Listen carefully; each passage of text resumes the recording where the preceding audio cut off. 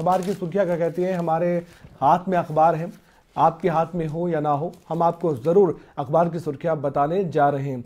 सबसे पहले बात करते हैं दैनिक जागरण अखबार की। तो शीरम दैनिक जागरण अखबार ने एक बार फिर से नागरिकता संशोधन कानून को लेकर ही यहाँ जगह दी गई है और नागरिकता जो संशोधन कानून है, यानी कि सीए जिसे भी कहते हैं और सीए को लेकर फ़िलहाल कोई रोक नहीं है, यानी कि सुप्रीम कोर्ट ने जो अपने उसे टिप्पणी की है, वो दैनिक जागरण खबर ने छापा है। इस खबर को छापा है। अंतरिम रोक लगाने से इनकार सुप्रीम कोर्ट ने कर दिया है। इसके अलावा ये भी बता दें दर्शकों को कि अखबार की सुर्खियों में ये भी कहा गया है, जो डिटेल में बताया गया है दैनिक जागरण की ओर से, कि कानून की वैधानिकता परखेगा सुप्रीम कोर्ट। सुप्रीम कोर्ट ने मामले पर विचार का मन जिस तरह से बनाते हुए कानून को चुनौती देने वाली उनसठ याचिकाएँ थी, उन पर सुनवाई की है और केंद्र सरकार को एक नोटिस जारी किया है कि उनसठ याचिकाएँ सुप्रीम कोर्ट के पास आई है तो जनवरी तक अपना जवाब दे केंद्र की सरकार तो कोर्ट मामले पर 22 जनवरी को फिर से सुनवाई अब करने वाला है। यह आदेश प्रधान न्यायाधीश S A Bobde, B R Gavai और साथ ही सूर्यकांत की जो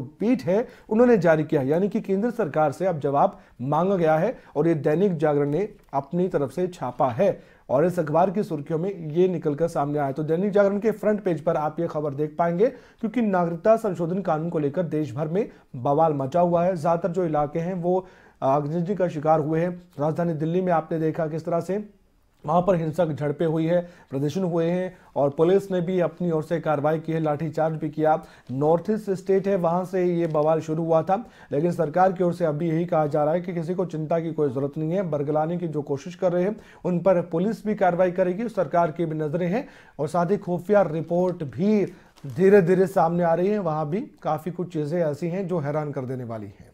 जी, नागरिकता संशोधन कानून की हम बात कर रहे हैं और इस पर लगातार जो है अलग अलग जगहों पर अलग अलग तरीके के विचार लोगों के सुनने को मिल रहे हैं। जैसा कि हमने सुना और अभी की अगर हम बात करें तो अभी जो है कांग्रेस भी कई जगहों पर प्रदर्शन कर रही है अलग अलग तरीके से प्रदर्शन किया जा रहा है, लेकिन फ़िलहाल अभी तक कानून पर रोक नहीं लग रही है। जनवरी तक जवाब देना है केंद्र सरकार को, सवाल उठाया गया है केंद्र सरकार पर।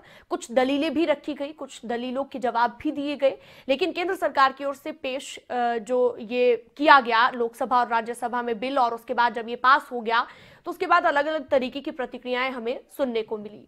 अब हम अगली खबर का रुख करेंगे और अगली आपको बता देते हैं दैनिक जागरण में न्यूज़पेपर की हेडलाइन क्या है आज? वो तारीख कब आएगी? ये हेडलाइन दी गई है।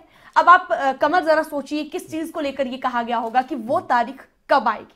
और कल दिन भर इस पूरे खबर पर नज़र भी हमारी रही। हमने अपडेट भी आपको तमाम दी और अब सब इंतज़ार कर रहे थे कि कब ये फैसला आए और जो पुनर्विचार याचिका डाली गई थी। उसको हम्म। लेकर भी सवाल उठे। और देखिए इसमें अगर आप देखेंगे दैनिक भास्कर की जो खबर छापी गई है कि वो तारीख कब आएगी हम्म। इसमें जो निर्भया की माँ है उनकी तस्वीर भी छपी है। और ये बताया गया है ये जानकारी देने की कोशिश की गई है कि ये कौन पूछ रहा है? ये निर्भया की माँ पूछ रही है कि वो तारीख कब आएगी जब फांसी दी जाएगी दोषियों को और उनकी बेटी को। यानी कि आपने ज़िक्र किया इंसाफ मिल पाएगा निर्भया को। जी। कब उनकी बेटी को इंसाफ मिलेगा, ये ज़िक्र किया गया है। अब आपको बता देते हैं क्या क्या चीज़ें जो है यहाँ पर सब हेडिंग्स में दी गई हैं। अक्षय की पुनर्विचार याचिका सुप्रीम कोर्ट में खारिज कर दी गई और इसे लेकर निर्भया की माँ की तरफ़ से ये कहा गया कि वो सिर्फ़ अपना वक्त बर्बाद कर रहे हैं। दलीलों में कोई नया तथ्य नहीं है, जो एपी सिंह है। ये कहा गया है और फैसले की कॉपी के लिए पटियाला हाउस कोर्ट ने डेथ वारंट पर सुनवाई जो है 20 दिन के लिए टाल दी है, यानी कि अब जो है बाद में ये सुनवाई होगी, सात जनवरी तक के लिए टाल दी गई है। यानी दैनिक जागरण और दैनिक भास्कर दोनों अखबारों का हम आपको विवरण बता रहे हैं। दैनिक जागरण की अगर बात की जाए तो फ्रंट पेज पर उन्होंने नागरिकता संशोधन कानून को लेकर जानकारी दी है, खबर दी है और ठीक उसके नीचे फ्रंट पेज पर ही वहाँ लिखा गया है अक्षय को लेकर जो दोषी है निर्भया मामले में अक्षय को लेकर ये बातें निकलकर सामने आई थी, जो तर्क दिया गया था, वो तर्क गले नहीं उतरा है सुप्रीम कोर्ट के भी, और जो पुनर्विचार याचिका है उसे बेसलेस माना गया, आधारहीन माना गया है, और उसके बाद आखिरकार ये फैसला लेना पड़ा। तो दैनिक जागरण का जो अखबार है, उसकी सुर्खियाँ हमने आपको बताई है। दैनिक भास्कर अखबार में भी दोनों खबरों को जगह दी गई है। बस फ़र्क इतना है कि एक हेडलाइंस आप बिल्कुल फ्रंट में देखेंगे, और ठीक उसके नीचे दूसरी आप खबर देख पाएँगे। जी, अब कमल, अगली खबर का रुख कर लेते हैं। दैनिक जागरण की अगली खबर, हरियाणा में बेटी बचाओ, बेटी पढ़ाओ अभियान की ब्रांड एम्बेसडर। परिणीति चोपड़ा के नागरिकता संशोधन बिल पर आए ट्वीट के बाद सरकार ने उनसे पल्ला झाड़ लिया है। और ये देखिए, आप देख पा रहे हैं आपकी टीवी स्क्रीन पर जो न्यूज़पेपर की हेडलाइन बनी है और ट्वीट के बाद हरियाणा में बेटी बचाओ, बेटी पढ़ाओ अभियान के प्रोजेक्ट डायरेक्टर योगेंद्र मलिक से पूछा गया तो उन्होंने कहा कि आप बहुत पुरानी बात कर रहे हैं। जहाँ तक मेरी जानकारी है, मैं इस विभाग को देख रहा हूँ। अब परिणीति चोपड़ा हमारी ब्रांड एम्बेसडर नहीं है। हालाँकि कोई और ये नहीं बता रहा कि परिणीति को हटाया कब गया। बिल्कुल, शीनम, ये जो जानकारी है, ये अखबार ने दी है और इसे यहाँ पर सुर्खियों में रखा गया है। दैनिक भास्कर की हम बात कर रहे हैं। और ये भी है, शीनम, आपको भी मालूम है कि जब ब्रांड एम्बेसडर बनाया गया था परिणीति चोपड़ा को, तब भी काफ़ी सुर्खियाँ बटोरी गई थी। और देखिए, बेटी बचाओ, बेटी पढ़ाओ जो अभियान चलाया गया बीजेपी की ओर से, उसको लेकर कहा गया था कि परिणीति चोपड़ा को क्यों बनाया गया है? सवाल कई तरह के उठाए गए थे। हालाँकि सरकार ने कहा कि हरियाणा की बेटी है अम्बाला से संबंध रखती है, इनका जुड़ाव है अम्बाला से, इसलिए इनको ब्रांड एम्बेसडर बनाया गया है। और एक तरफ़, शीनम, आप देखिए कि जहाँ समय सभी पैरवी कर रहे थे कि क्यों बनाया गया है, इस कारण बनाया गया है। आज पल्ला झाड़ते नज़र आते हैं क्योंकि परिणीति चोपड़ा ने जो अपनी ओर से सवाल खड़े किए हैं, आपको मालूम है कि इस मुद्दे को लेकर उसके बाद ये कहा जा रहा है कि बहुत पुरानी बात हो चुकी है कि परिणीति चोपड़ा ब्रांड एम्बेसडर थी। अब है कि नहीं, कोई जानकारी साफ़ नहीं है, शीना। बिल्कुल, यानी कि इतना तो लग रहा है कि अगर इस तरीके से सरकार पल्ला झाड़ रही है, यानी कि सरकार सीधे तौर पर चाहती है कि इस बिल का समर्थन हर कोई करे। बॉलीवुड की हम बात करें सेलिब्रिटीज की हम बात करें सेलिब्रिटीज जिस चीज़ का समर्थन करते हैं कमल काफ़ी अहमियत रखता है। हम्म। और लोग भी जो उन्हें जिनके वो फेवरेट हैं जो लोग उन्हें एडमायर करते हैं वो उन लोगों पर भी इम्पैक्ट पड़ता है। यानी कि सरकार ने अगर पल्ला झाड़ा है हम्म। तो इसे लेकर ये समझा जा सकता है कि उन्होंने नेगेटिव व्यूज़ अपने दिए नागरिकता संशोधन बिल को लेकर।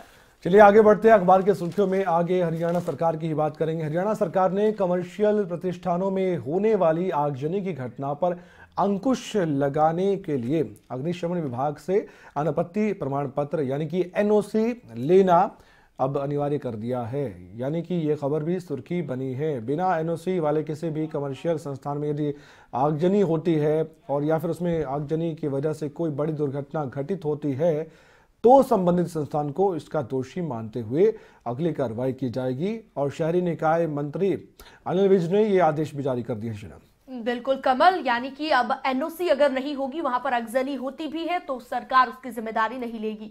दिल्ली की एक फैक्ट्री में आगजनी और गुजरात के सूरत में कोचिंग सेंटर में आग लगने की वजह से जो बच्चों की मौत हुई थी, उसके बाद हरियाणा सरकार ने यह अहम फैसला लिया है। राज्य के प्राइवेट अस्पताल भी सरकार के इन आदेशों के दायरे में शामिल किए गए हैं। यानी कि अब दिक्कत उन संस्थानों को होने वाली है जो एनओसी नहीं लेते और बाद में जो है सरकार पर ठीकरा फोड़ दिया जाता है जब कभी आगजनी होती है। क्योंकि इसके पीछे एक वजह यह भी है, सरकार पर तब सवाल उठते हैं कि सरकार क्यों नहीं देख पा रही है, जब इस तरह की घटनाएँ हो जाती है, उसके बाद जाँच होती है, लापरवाही तब सामने आती है, उससे पहले ही क्यों नहीं संज्ञान लिया जाता? इस तरह के सवाल घटना के बाद उठते हैं। अब अनिल विज जो कि अपना निकाय विभाग भी देख रहे हैं, उन्होंने खुद ये आदेश जारी किए हैं तो शीनम इससे अंदाज़ा लगाइए कि सख्ती होना ज़रूरी भी है और ये सख्ती हो जाएगी। यानी उस संस्थान पर ही सवाल उठेंगे अगर वहाँ पर एनओसी उन्होंने नहीं ली होंगी अग्निशमन विभाग से। जी और अब अगली खबर बता देते हैं आपको न्यूज़पेपर में अगली खबर जिसने सुर्खियाँ बटोरी है।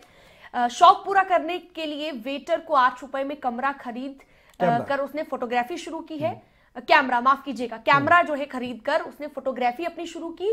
साठ साल में कई यादगार तस्वीरें ली। नवासी वर्षीय भाग सिंह सोढ़ी को अवार्ड दिया गया है इसके लिए। यानी कि फोटोग्राफी के लिए यह अवार्ड मिला है। राष्ट्रपति से भी इसे सम्मान जो है मिल चुका है। और आप देख पा रहे हैं आपकी टीवी स्क्रीन पर यानी कि एक तरीके से जो है अच्छी खबर इस फोटोग्राफर के लिए है। पॉजिटिव न्यूज़ जिसे कहते हैं और अखबार की सुर्खियों में ये भी आपको कई बार देखने को मिलता है, क्योंकि सकारात्मक चीज़ें भी बहुत ज़रूरी होती हैं आपकी ज़िंदगी में, और इसलिए सोडी ने जो काम किया वो काबिल तारीफ़ है। आठ रुपये में महज कैमरा खरीदना, उसके बाद तस्वीरों को लेना और यादगार पल उन तस्वीरों में कैद करना, उसके बाद उनकी जो यादें हैं ताज़ा करना। बार बार जब फोटोग्राफी के तौर पर जो फ़ोटो ली जाती है, उसको आप बाद में देखते हैं, चाहे वो आपसे कुछ भी यादें जुड़ी हुई हो तो आपको बहुत बेहतर महसूस होता है। और यही सोडी ने काम करने की कोशिश की है। आठ रुपये में कैमरा लेकर उसमें तस्वीरें खींच के के बाद जब एक यादगार एल्बम बन जाती है, वो सामने रखने की भी कोशिश सोडी ने की है। बिल्कुल तो एक अच्छी खबर थी, ये पॉजिटिव खबर थी, सकारात्मक खबर थी।